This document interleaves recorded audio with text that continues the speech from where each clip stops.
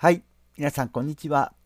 今日もアフィニティデザイナーで20、30、40というふうにかっこいいサムネイルなんかを作るときによく目立つような今僕のサムネイルにも使っているような文字を作る方法というのを解説したいと思います。村長ミュージックスタジオ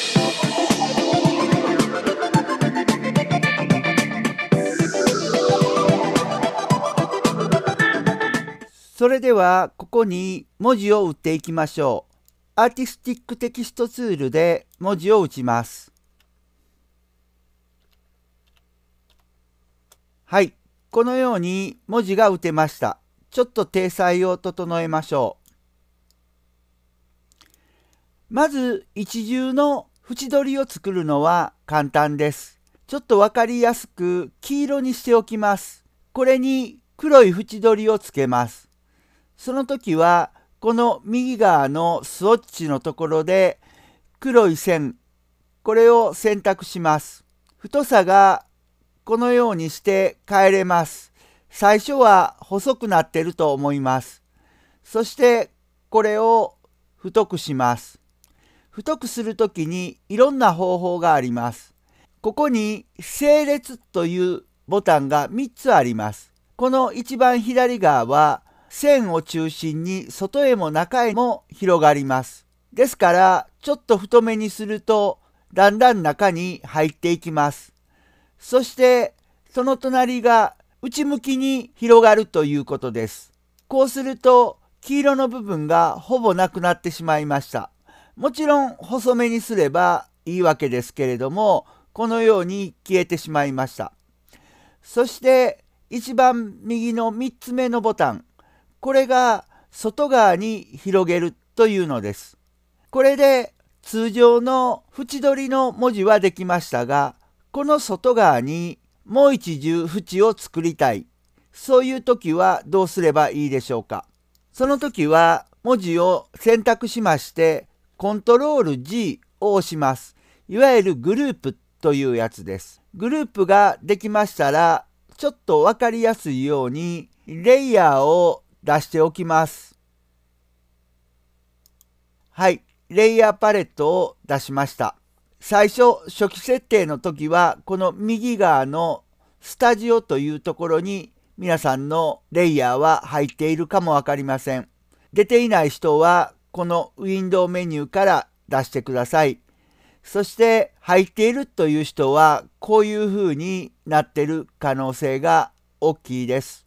今回はこのように外に出して作業をしたいと思います。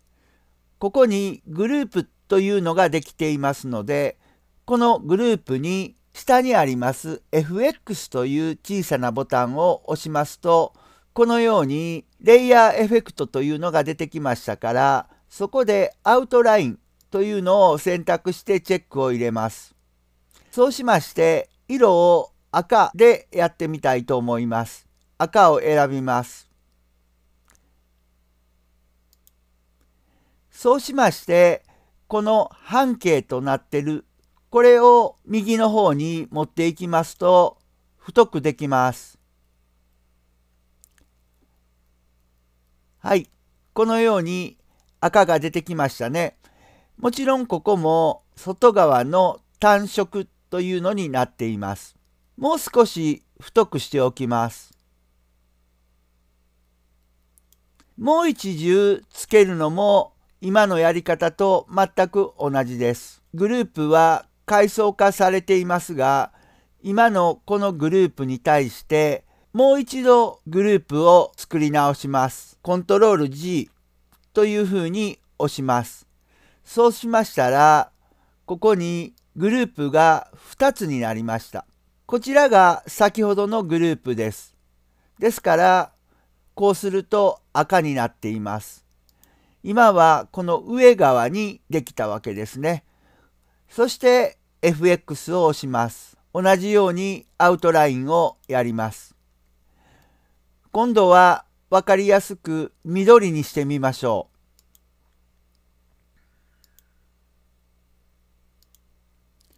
そして半径を上げていきます。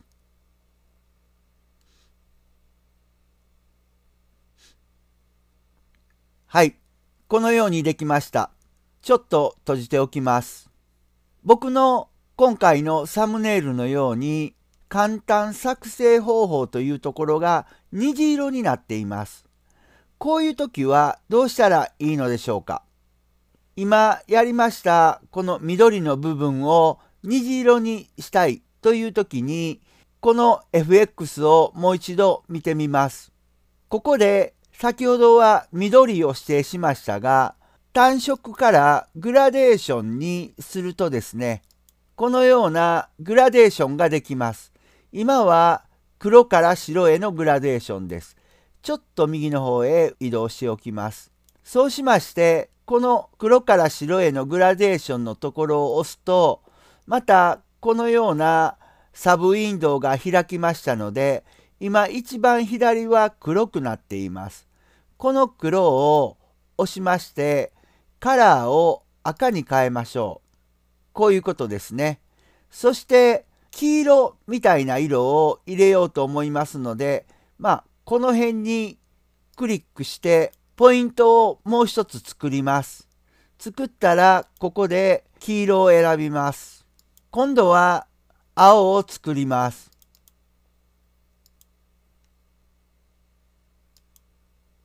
青ができましたね。今度は緑を作ります。今度のポイントはまた赤にしましょう。これでこのウィンドウは閉じます。はい。このように虹色になりましたね。ここまでやるとやりすぎだと思うんですけれども、やり方としましては、このようにして文字の縁取りを一重だけではなくって二重三重と増やしていくことができるわけです。そしてカラーも単色だけではなくってグラデーションを作ったりこういうことができるようになっているわけです。例えばこのグループがありますけれどもこのグループの赤いところをもう一度編集しましてこの赤を白とかに変えてみます。そうしましたらこのように際立ちましたね。